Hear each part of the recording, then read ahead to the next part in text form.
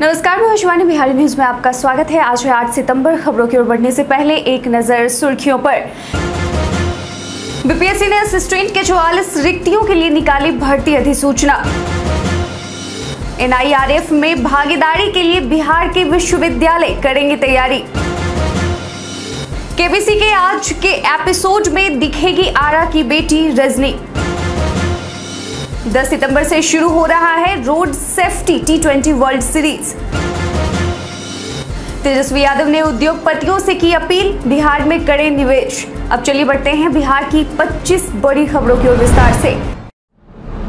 BPSC ने assistant के 44 रिक्तियों के लिए निकाली भर्ती अधिसूचना। Bihar police service commission BPSC ने असिस्टेंट के कुल मिलाकर 44 रिक्तियों पर भर्ती के लिए अधिसूचना जारी की है। इसके लिए अगर शैक्षणिक योग्यता की बात की जाए तो आवेदक को किसी भी सब्जेक्ट में बैचलर डिग्री पास होना ज़रूरी है। इच्छुक और योग्य उम्मीदवार इस वैकेंसी नोटिस से जुड़ी हुई समस्त ज़रूरी जानकारी और आवेदन करने के लिए इस वीडियो के इसी पेज पर नीचे डिस्क्रिप्शन बॉक्स में दिए गए वेब लिंक पर ज़रूर क्लिक करें। आवेदन करने की अंतिम तारीख 30 सितंबर 2022 तक है।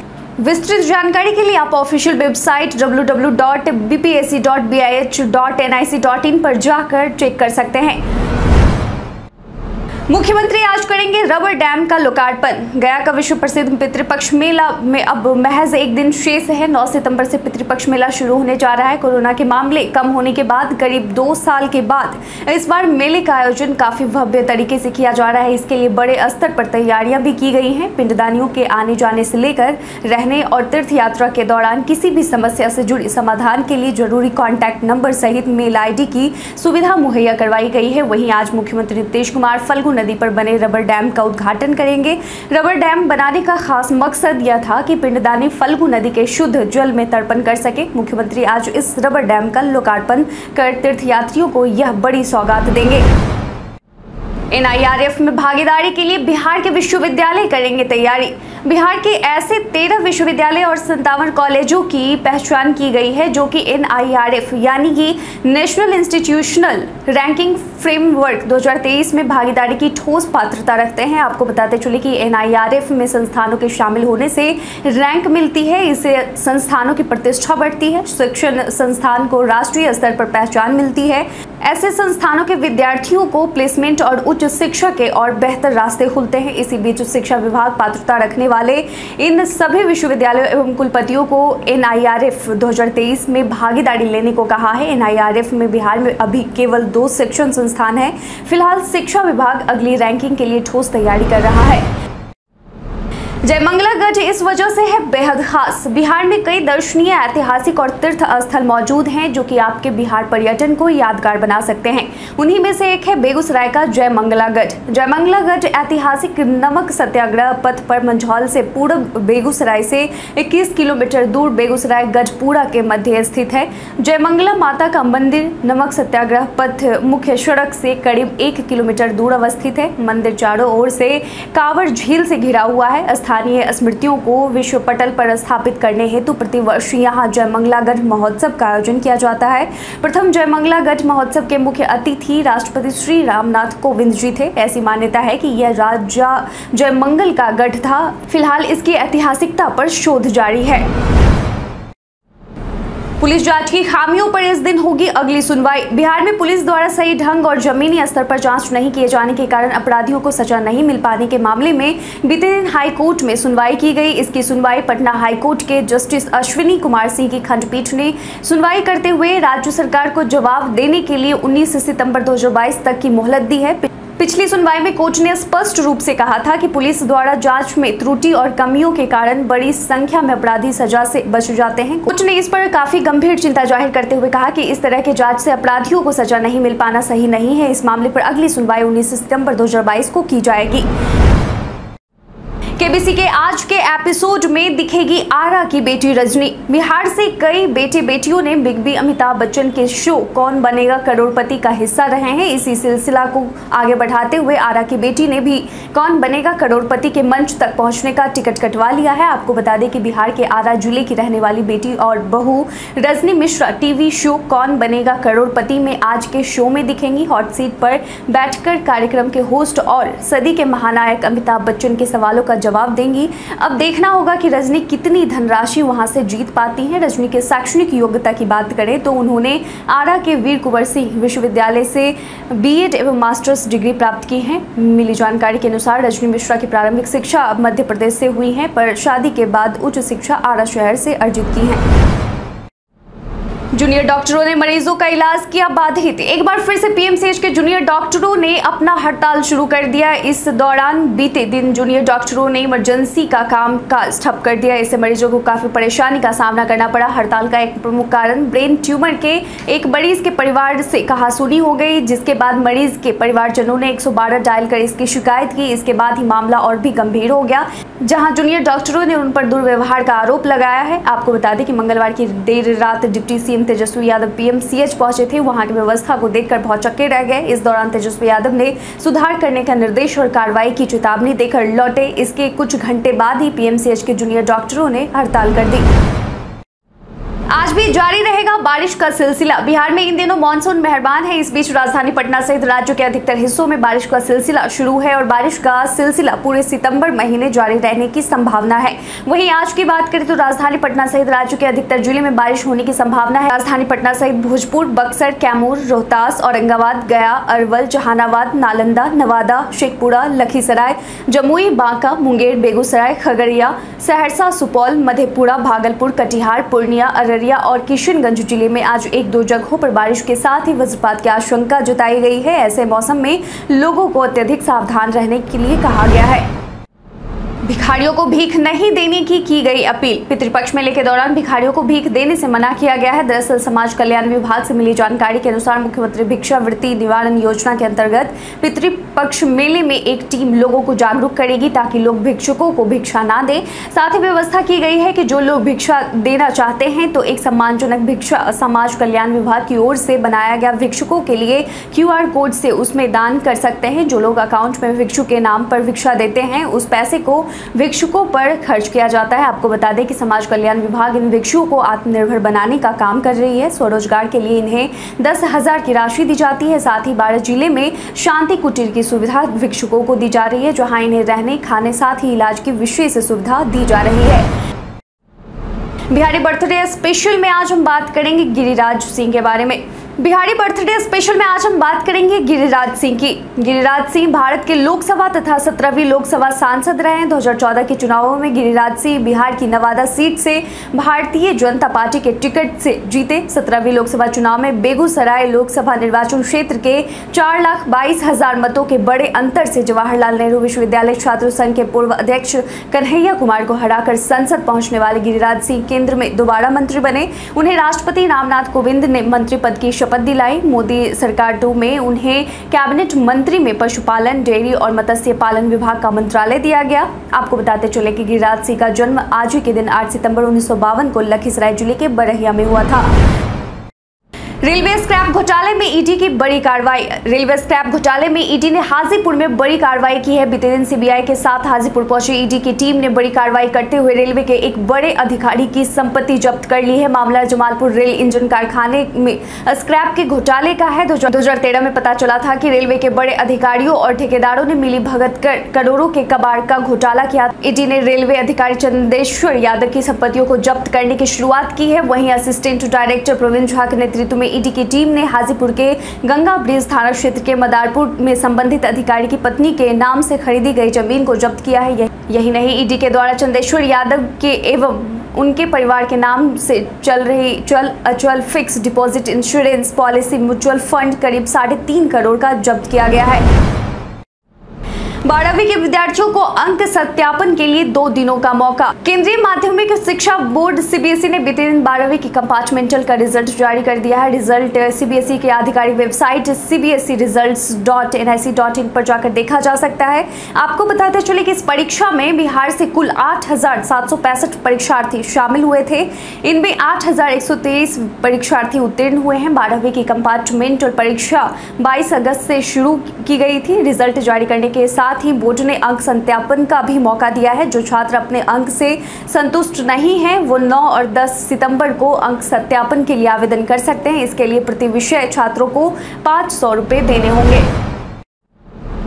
तेजस्वी यादव का दावा, अगले दो महीने में सुधरेगी स्वास्थ्य व्यवस्था। मंगलवार की आधी रात को अस्पतालों का निरीक्षण करने के बाद बदहाल अस्पतालों की स्थिति को लेकर बीते दिन बुधवार को तेजस्वी यादव ने बैठक की। इस बैठक में कहा गया है कि 60 दिनों में, यानी अगले दो महीनों में, बिहार की स्वास्थ्य व्यवस्था सुधरेगी। दरअसल बीते दिन बुधवार को सिविल सर्जन और बड़े चिकित्सक अधिकारियों के साथ बैठक की गई। उन्होंने मौजूदा चिकित्सा व्यवस्था पर नाराज़गी व्यक्त करते हुए इसे जल्द सुधार के निर्देश दिए हैं। बैठक के बाद तेजस्वी यादव ने मीडिया से बात करते हुए कहा कि स्वास्थ्य व्यवस्था की स्थिति बेहद खराब है, लेकिन अब महागठबंधन की सरकार बन गई है, जल्द ही इसमें सुधार होगा। उन्होंने कहा कि स्वास्थ्य व्यवस्था को सुधारने के लिए 60 दिनों की कार्य योजना बनाई गई है। उन्होंने कहा कि 60 दिनों में अधिकारियों को व्यवस्था सुधारने के निर्देश दिए गए हैं। जिन विपक्षी नेताओं से मिल रहे उन्हें भी धोखा दे सकते हैं। नीतीश कुमार मुख्यमंत्री नीतीश कुमार का तीन दिवसीय दिल्ली दौरा बीते दिन समाप्त हो गया है। मालूम हो कि नीतीश कुमार का यह दिल्ली दौरा तमाम विपक्षी दलों को 2024 लोकसभा चुनाव में एकजुट करने का रहा। इस दौरान भाजपा ने नीतीश कुमार के दिल्ली दौरे को लेकर जुबानी हमला बोला है। बिहार के पूर्व डिप्टी सीएम तारकिशोर प्रसाद ने सीएम नीतीश को लेकर कहा कि देश की राजनीति से सीएम नीतीश की विश्वसनीयता खत्म हो गई है। वे जिन विपक्षी नेताओं से मुलाकात कर रहे हैं, उन्हें भी एकजुट करने की बात कर धोखा दे सकते हैं। तेजस्वी यादव उन पर हावी हैं। बता दें कि सीएम नीतीश कुमार ने दिल्ली में राष्ट्रपति, उपराष्ट्रपति राहुल गांधी, अरविंद केजरीवाल समेत वाम दलों के नेताओं से मुलाकात की और उनसे लोकसभा चुनाव 2024 में विपक्ष को एकजुट करने पर चर्चा की। राजद ने निष्कासित नेताओं को दी बड़ी राहत। डिप्टी सीएम तेजस्वी यादव ने राजद से निष्कासित नेताओं को बड़ी राहत दी है। दरअसल राजद नेता और deputy CM Tejashwi Yadav party से बाहर निकाले गए नेताओं को राहत देते हुए निष्कासन मुक्त कर रहे हैं। इस संबंध में प्रदेश अध्यक्ष जगदानंद सिंह ने सभी जिलाध्यक्ष व राज्य निर्वाचन पदाधिकारी तथा सभी जिला निर्वाचन पदाधिकारी को आदेश जारी कर दिया है। उन्होंने स्पष्ट तौर पर कहा है कि निष्कासित नेता व कार्यकर्ता निष्कासन मुक्त होने के बावजूद बाकी अवधि के लिए किसी भी पद पर उन्हें वापस नहीं लिया जाएगा। ककोलत आया जल सैलाब की चपेट में। बिहार के पर्यटकीय स्थलों में से एक ककोलत जलप्रपात एक बार फिर सैलाब की चपेट में आ गया है। इस सैलाब का आक्रामक रुख के दौरान वहाँ कई सैलानी भी मौजूद थे। हालाँकि किसी के हताहत होने की खबर नहीं आई है। जानकारी के मुताबिक उस वक्त कुंड परिसर में करीब दो दर्जन से अधिक सैलानी मौजूद थे। इनमें से कुछ गर्मी की तपिश से राहत के लिए ठंडे पानी में स्नान कर रहे थे। सैलाब से थोड़ी देर के लिए वहाँ अफरा तफरी मच गई। दुकानदार व स्थानीय लोग भी वहाँ मौजूद थे, जिनकी मदद से सैलानियों को सुरक्षित वहाँ से निकाल लिया गया। इस दौरान कुंड का जलस्तर करीब सात फुट तक बढ़ गया और पानी कुंड के ऊपर बने कमरे तक पहुँच गया। सैलाब का कहर करीब एक घंटे तक जारी रहा। तेजस्वी यादव ने उद्योगपतियों से की अपील, बिहार में करें निवेश। बिहार के डिप्टी सीएम ने उद्योगपतियों से अपील करते हुए कहा कि खबरों की हेडलाइन से परसेप्शन नहीं बनाएँ, रिसर्च करें, बिहार वास्तव में सुरक्षित जगह है।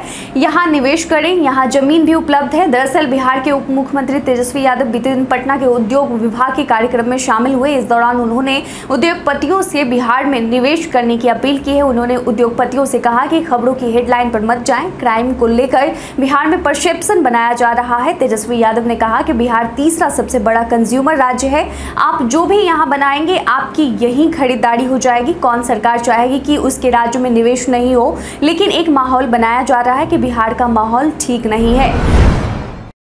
नीतीश कुमार का तीन दिवसीय दिल्ली दौरा हुआ संपन्न। दिल्ली दौरे पर बीते दिन नीतीश कुमार राष्ट्रपति द्रौपदी मुर्मू से मुलाकात की। बता दें कि नीतीश कुमार उन सभी दलों को एक मंच पर लाना चाहते हैं जो भाजपा के विरोधी या उनके साथ मिलकर काम नहीं करते हैं। राष्ट्रपति द्रौपदी मुर्मू से मिलने से पहले मुख्यमंत्री नीतीश कुमार सीपीआई एमएलए महासचिव दीपांकर भट्टाचार्य से दिल्ली में मुलाकात की। एनसीपी प्रमुख शरद पवार से मुलाकात की। मुलाकात के बाद बाहर निकलकर नीतीश कुमार ने कहा कि हम लोगों की एक राय है कि अधिक से अधिक दल एक साथ होकर राज्य और देश के विकास के लिए काम करें। मैंने यह भी कह दिया है कि सब एक साथ होकर लड़ेंगे तो देश का विकास होगा, क्योंकि ये लोग, यानी भाजपा तो कुछ काम कर ही नहीं रही है। वहीं सोनिया गांधी के बारे में बात करते हुए नीतीश कुमार ने कहा कि मैडम, यानी सोनिया गांधी बाहर गई हुई हैं। जब वह आएँगी तो उनसे भी बात होगी। राजपथ का नाम बदलकर कर्तव्य पथ करने पर राजद का तीखा तंज। नई दिल्ली के ऐतिहासिक राजपथ और सेंट्रल विस्टा लॉन का नाम बदलकर केंद्र सरकार ने कर्तव्य पथ कर दिया है। नेताजी की प्रतिमा से लेकर राष्ट्रपति भवन तक के पथ का नाम राजपथ नहीं, अब कर्तव्य पथ पर होगा। सड़क का नाम बदलने को लेकर राजद ने मोदी सरकार पर तंज कसा है हालाँकि इस फैसले पर मिली जुली प्रतिक्रिया आई है। कुछ ने इस फैसले का स्वागत किया है तो वहीं कुछ ने इसकी कड़ी आलोचना की है। इस बीच राजद के मनोज झा ने ट्वीट कर कहा कहा कि पहले रेस कोर्स रोड बन गया, लोक कल्याण मार्ग, अब राजपथ बना कर्तव्य पथ। लेकिन आज की सबसे बड़ी चुनौती, जैसे बेरोजगारी, महँगाई या बिगड़ती सामाजिक समरसता, अगर इसका सकारात्मक प्रभाव पड़ता है तो सब कुछ स्वीकार्य है। जन उन्मुख चिंताओं और क्षमता पर चुप्पी है। केवल सड़कों के लिए क्या होगा, यदि आप नाम बदलना चाहते हैं? सीमांचल को लेकर संजय जायसवाल का बड़ा बयान। केंद्रीय गृह राज्य मंत्री अमित शाह 23 सितंबर को सीमांचल दौरे पर आ रहे हैं। उससे पहले सियासत तेज होती दिख रही है। खबर यह भी है कि अमित शाह के आगमन के पहले बीजेपी के राष्ट्रीय अध्यक्ष जेपी नड्डा भी सीमांचल आ सकते हैं। वहीं अब भाजपा ने सीमांचल में सियासी गर्मी तेज कर दी है। भाजपा के प्रदेश अध्यक्ष संजय जायसवाल अररिया पहुँचे तो जनसंख्या नियंत्रण को लेकर बड़ा बयान दिया है। संजय जायसवाल ने पत्रकारों को संबोधित करते हुए जनसंख्या नियंत्रण बिल को बड़ी बात कह दी है। संजय जायसवाल ने कहा कहा कि पूरी दुनिया में सबसे अधिक बच्चे अररिया, पूर्णिया, किशनगंज में पैदा हो रहे हैं। इसकी वजह उन्होंने जनसंख्या नियंत्रण नहीं होने को बताया है। भारत के इतिहास में आज की तारीख कई कारणों से है दर्ज। हिंदी के यशस्वी कहानीकार राधा कृष्ण का जन्म 1910 को हुआ था। गीतकार, संगीतकार और गायक भूपेन हजारिका का जन्म 8 सितंबर 1926 को हुआ था। 20 भाषाओं में बारह हज़ार से ज़्यादा गाने गा चुकी आशा भोसले का जन्म उन्नीस को हुआ था। प्रसिद्ध स्वतंत्रता सेनानी और लोकसभा के प्रभावशाली सदस्य रहे फिरोज गांधी का निधन उन्नीस सौ साठ को हुआ था। शेख मोहम्मद अब्दुल्ला का निधन उन्नीस में हुआ।